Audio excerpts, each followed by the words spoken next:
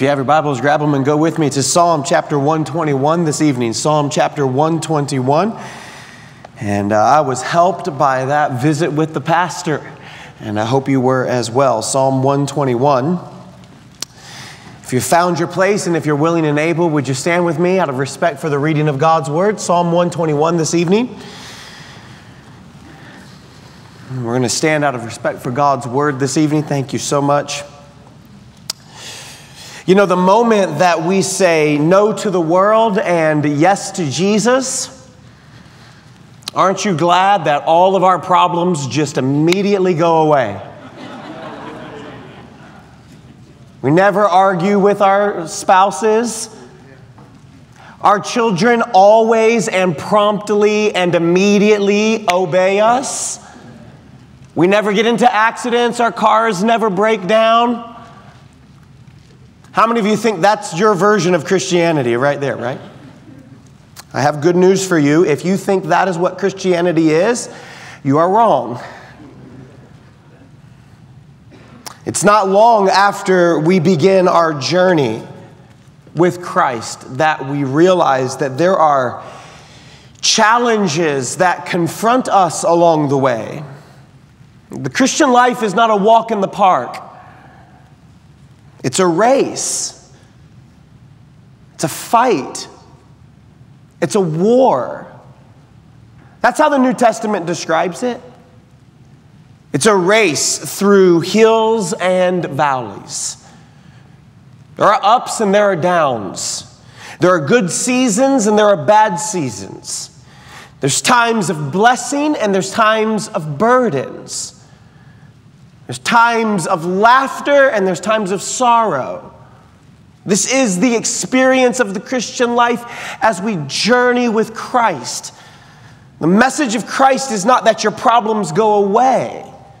The message of Christ is there, are, there is a person with you while you go through it. It's no different for the writers of the Bible. It's what we're picking up here in Psalm 121. It's a psalm of ascent. This is a psalm that they would have sung, perhaps responsively, as they journeyed to or from Jerusalem. And many people think it was from Jerusalem. I'll point out why here in just a moment. But look with me at verse number one. I will lift up mine eyes unto the hills, from whence cometh my help. My help cometh from the Lord which made heaven and earth. And he will not suffer thy foot to be moved, and he that keepeth thee will not slumber. Behold, he that keepeth Israel shall neither slumber nor sleep. The Lord is thy keeper. The Lord is thy shade upon thy right hand.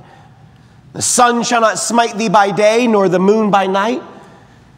The Lord shall preserve thee from all evil. He shall preserve thy soul. The Lord shall preserve thy going out and thy coming in from this time forth and even forevermore. Our Heavenly Father, we ask that you would use your word in our lives and encourage us with it. I pray that you would remind us this evening that you are the one who is keeping us. You are attentive, that we can rest at ease in this life. We can have a peace that passeth understanding. We can be filled with joy even in the face of the most difficult sorrow because you keep us. And in Jesus' name we pray. And all the church said together, Amen. Amen. Thank you for standing. You may be seated. It's quite possible that this psalm was actually sung on the journey home rather than the journey to Jerusalem. The psalmist looks out at the hills ahead of him and he wonders who will go with him along the way. He thinks that there is nowhere to turn. The thought is that he will be all alone. There'll be no one to talk to. There'll be no one to protect him. There'll be no one to journey with him. And then the psalmist remembers that there is a God in heaven who will help him as he climbs any mountain, who will help him solve any problem, who will encourage him and strengthen him to overcome any obstacle. The psalmist really gives us two points. He gives us the first, and that is that I can trust God to provide my needs. Do you believe that this evening? That God is able to meet whatever need is in front of you. The key word of verse number one and verse number two is the word help. He says in verse not one, From whence cometh my help? He says in verse two, My help cometh from the Lord. The psalmist is no different than us. He does what every one of us tend to do when we are in trouble. He looks for help. Only the psalmist looks in every place but the right place. He tries everything but the right thing. He asks every person except the right person. The psalmist looked at the hills in front of him and he recognized that he had a need. This is the same route that Jesus taught about when Jesus says that there is a certain man who went down from Jerusalem to Jericho and fell among thieves. He was beaten and he was stripped and he was left for dead. That's the same journey that the psalmist is speaking of here. That's the place. And the psalmist asks the question then where does my help come from? It's a good question, isn't it? It's a question that I've asked myself time and time again. Where will my help come from? Perhaps you've asked yourself that question. Where am I going to get the help I need for this part of the journey? But one thing is for sure, friend, and that is this that all of us are in need of help. And that's really the truth that verse number one is reminding us with. He's confronting us with this reality that the journey is long, the road is rough, the burdens are heavy, the climb is steep, the dangers are many, and it is impossible for you and I to make this journey on our own. You need help. One of the great dangers in the Christian life is that we would try to make the journey in the Christian life in self sufficiency.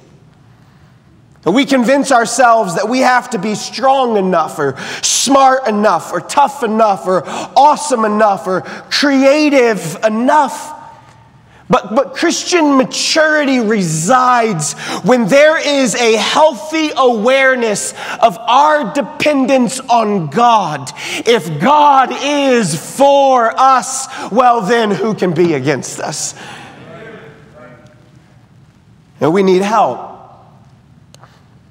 And perhaps you're aware of this truth. Perhaps you're well aware of this truth. Your marriage needs help. Your parenting needs help. Your career choices, you, you need some help. You got some habits you're trying to kick. You need help. You have, you have temptations you're trying to fight. You need help. Well, can I just remind you, friend, that God has given us a help. And the help that God has given us is found right here in His Word. The Apostle Peter, writing to the church, says that the Word of God contains all things necessary for life and godliness. Did you catch that?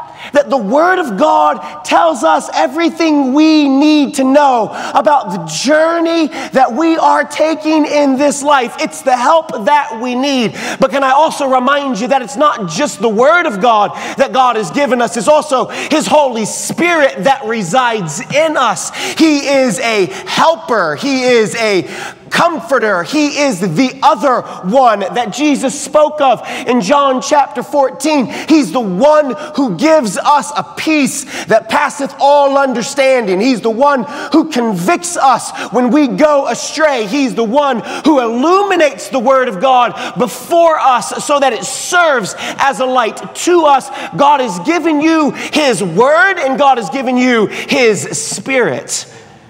But can I also tell you this? He is not, those aren't the only two helps that He has given us. If those two were it, that would be enough. But God has given to us a local New Testament church which serves as his body in the world. It's his hands, it's his feet. It's the way in which we feel His love, the most tangible, demonstratable way in which you will ever understand the love of God is found in a local New Testament church.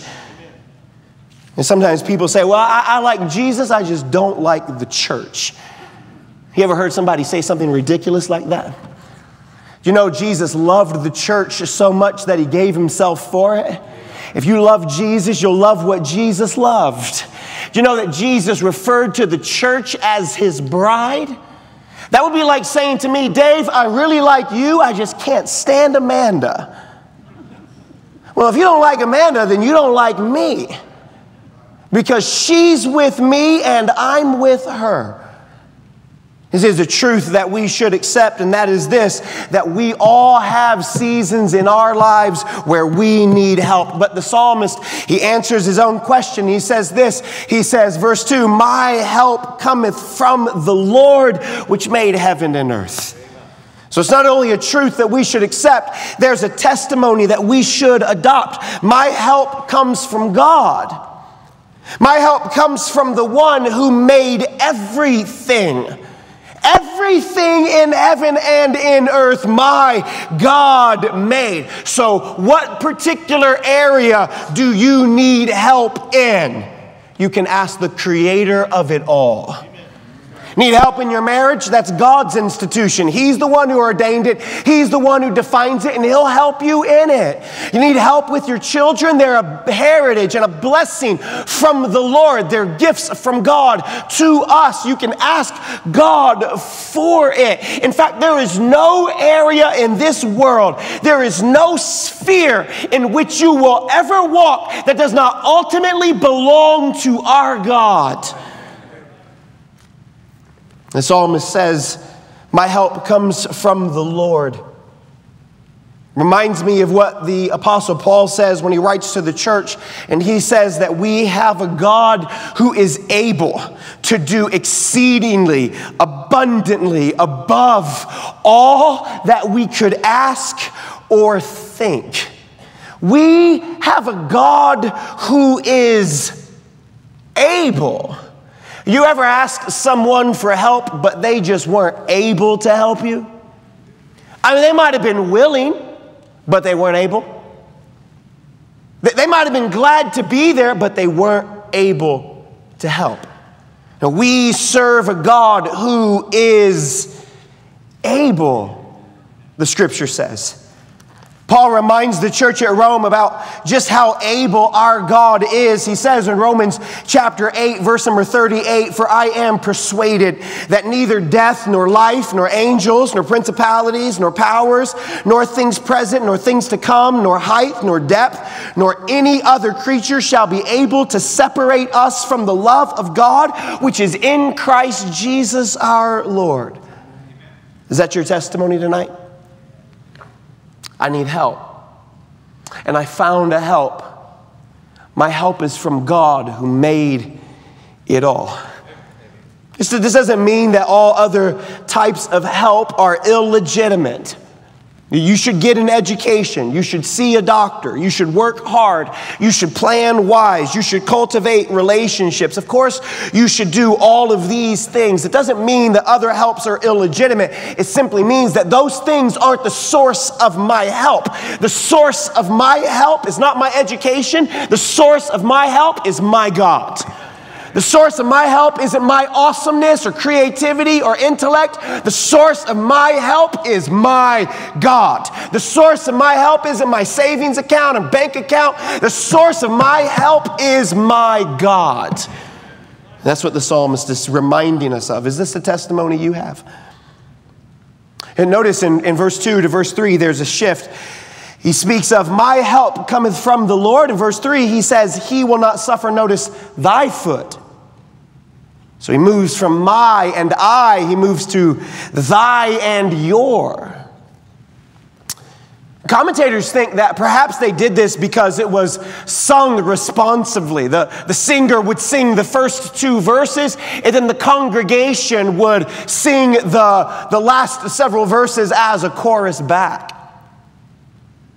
Some people think that perhaps it was sung as a preacher to his people. He would have preached the first few verses and then he's putting his people in remembrance of the help he needs. And then they all would sing collectively the latter half of the chapter. Others think the psalmist is perhaps just talking to himself. He, he recognizes the journey in front of him. He reminds himself that his help comes from God. And then he begins a conversation where he begins encouraging himself in the Lord. He will not suffer thy foot to be moved. Do you ever do that? You ever talk to yourself? How many of have ever talked to yourself? Let's see. Everyone who didn't raise their hand is talking to themselves right now. Should I raise my hand? I don't know. what will people think of me if I raise my hand? Do I talk to myself? I don't know if I talk to myself or not. Amanda tells me all the time, David, I don't care if you talk to yourself, but if, if you start answering yourself, we have a problem. I, I like to think of the psalmist as talking to himself. And if you're going to talk to yourself, listen, friend, be sure to talk sense to yourself. It does you no good to talk nonsense to yourself. The psalmist is talking sense to himself. He sees the road ahead. He knows the climb is steep. He understands the dangers are many. He has recognized that God is his help. And now he begins He shall not suffer thy foot to be moved. He that keepeth thee will not slumber. Behold, he that keepeth Israel shall neither slumber nor sleep. You can read the rest, and we will in just a moment. But the key word through the rest of the text is not the word help. The key word through the rest of the text is the word keep. He keeps me. He keeps me, verse number three. He keeps me, verse number four. He keeps me. He is my keeper, verse number five. Verse seven, the Lord shall preserve, literally, keep you from all evil. He will keep your soul. The Lord shall preserve or keep you while you're going out and while you're coming in. He keeps me simply means he's attentive, his eyes are watching. In ancient times, there were no paved roads, it was only rugged terrain on a, on a well trodden path. And so, as you walked along these paths, it was very easy to stumble and fall. The psalmist is reminding himself that as you journey on this difficult road, God's eyes are on you. You have His full attention, He is aware. The question for the psalmist and the question for us is not, is God's attention on, on me or on you? The question is, is our attention on Him? You see, it's when we take our attention off of Him that we stumble and fall. Could give countless illustrations on this. I'll just give one. A couple weeks ago, I was going for a jog after I got off of work. Put my running shoes on, I put my running shirt on, I turn on the podcast that I enjoy listening to as I run, and I begin my jog. Start running down the, the sidewalk. I run past a Target around the back. There's another Home Depot. There's a loading area right there. And as I make my way past the Home Depot loading area, a big semi truck whips right in front of me. It felt like it was this close, you know? So I stop really fast and he just goes on. And I do what any good Christian in this moment would do. I gave him a really mean look. I mean, at this, the side eye, I just, what are you doing? Don't you see me here? So I'm staring at him like this, and I start to run past. He's going down the loading area now, and I'm staring at him, and I, do it like this, and we make eye contact through his rearview mirror, and I was like, "Oh, what are you doing?" And I'm running, and I don't even realize, but the sidewalk makes a step up, and my foot hits the sidewalk, and down I go. And he just laughed, honked his horn, thought it was hilarious.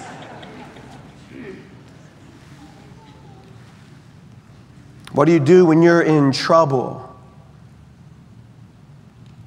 What do you do when someone cuts you off in the loading area? You know what most of us do? Exactly what I did. We take our eyes off of the journey, the path, the route that God has given us, and we put our eyes on someone other than what Christ is doing in us. And we trip and we stumble and we fall. It's not that God's attention isn't on you. Is your attention on Him? So that as you walk through this life, He keeps your foot from being moved. You see, as you walk with God, as you keep your focus on God, as you lift your eyes to God, as you put your attention and your heart and your pursuit in Him, He gives us spiritual stability. He gives us a stability that otherwise we wouldn't have had because the terrain was too rough, because the climb was too steep because the dangers were too many. The Lord keeps us three ways. Notice the Lord keeps our feet safe. He will not suffer thy foot to be moved. It's not a guarantee that we never fall. What it is, is it's an assurance that He will keep your feet stable as you travel because you and I are prone to fall. And in fact, the only reason we haven't fallen into slippery places already, the only reason we haven't been given over to hidden temptations, the only reason we haven't surrendered in dangerous situations, the only reason we haven't wandered off into doctrinal errors is because God is the one who is keeping us. He keeps us. He will not suffer thy foot to be moved. He that keepeth thee will not slumber. In other words, he never dozes off. Some of you, you can't say that. I'm watching you right now. He never sleeps. He never gets tired at the wheel. He never turns on the baby monitor to go to the other room in order to get some shut eye. He never does this. He is always alert. He is always awake. He's always attentive. His eyes are always on us. The image is a picture of a soldier who's on duty, who stays awake, lets the enemy come over the wall and overrun us. This is our God. He doesn't get tired. He doesn't get drowsy. He doesn't get sidetracked. He doesn't get distracted protected. His eyes are on us. And someone asked Alexander the Great one time, how is it that he could sleep when he was surrounded by so much danger? Alexander the Great replied, I sleep because Parmenio is watching. Parmenio was Alexander's faithful personal bodyguard. Can I ask you, friend, if Alexander the Great can sleep because a human bodyguard is watching him, then how much more should you and I be able to rest knowing that the infinite God of the universe, who has no beginning, who has no ending, and who never gets tired in the middle, is watching over us? We ought to be able to say, I can sleep because God is watching me. In verse 4, he says, Behold, he that keepeth Israel shall neither slumber nor sleep. This is a reference to God's faithfulness in the past. You're always in danger of forgetting the faithfulness of God when you measure the faithfulness of God on your present circumstance. Don't judge God's faithfulness on your present circumstance. No, no, no. Check God's performance review. And you know what David is saying? God has kept Israel all along the way, and God will keep us still. It is God who has kept, David is saying, and so it is God who will keep. The Lord keeps your feet safe, the Lord keeps your hands strong. So what he says in verse 5 and verse 6 The Lord is thy keeper, the Lord is thy shade upon thy right hand. The sun shall not smite thee by day, nor the moon by night. Kidner, in his commentary on the Psalms, he actually offers a lot of help in this passage. He says the psalmist is offering a pair of opposites, the sun and the moon, and he's offering them to include everything in between. The psalmist is saying, You won't die because of sunstroke, and you won't lose your mind because your moon's sick. The psalmist is saying, You would have suffocated under the circumstances, the all consuming circumstances of this life, had it not been the Lord who was providing shade for you. And you would have lost your mind in the craziness of this world had it not been God who was guarding your thoughts. See, friend, it was God who was keeping us all along the way. It was God who's keeping our feet. It was God who's keeping keeping our hands, it was God who's keeping our minds, and we're going to see in a second it is God who is keeping our soul. It's God all along the way. And notice, the Lord is thy keeper, the Lord is thy shade. I don't have to tell you who live in the Antelope Valley about the importance of shade. But you must remember that they don't live in a time where they can run air conditioning to air conditioning without shade. It's the difference between life and death. God is their shade. And notice where he is providing the shade. He's providing the shade. Notice, upon thy right hand it speaks of his personal presence. God's presence is with me. So it is not just that God is up in heaven on his throne looking down over us. That is true, but that is not all of the truth. No, it is God who is at our side, who is shielding us from the circumstances of this life, from the harm that is around us. And he is providing a shade for us. It is God who keeps my feet, it is God who keeps my hands. And then the psalmist ends quite simply it is God who keeps your life. He keeps your life secure. That's verse 7, that's verse 8. The Lord shall preserve thee from all evil. He shall preserve thy soul. The Lord shall preserve thy going out and thy coming in from this time forth and even forevermore. The Lord keeps us from all evil. Seems to be saying that nothing bad happens to us. But it can't mean that, can it? It's not the experience. We've all lived long enough to know this. There's no, there's no exemptions from the difficulties of life. So, what do you do when you come to a passage like this where it says, The Lord shall preserve thee from all evil? He'll preserve your soul, He'll preserve your going out and your coming in. And sometimes it helps when you come to a verse like this to step back a little bit, look at the full context. Of course, He doesn't keep us from all evil. The first verse, He tells us we're going to face trouble, we're, we're going to face difficulty. So, so, this verse is not guaranteeing a life of health, wealth, and success.